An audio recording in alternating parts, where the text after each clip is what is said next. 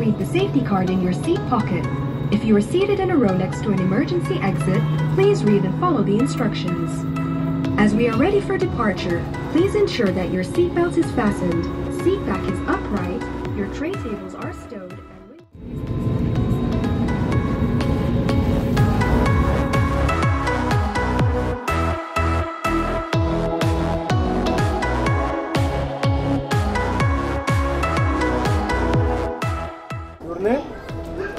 number, your passport number.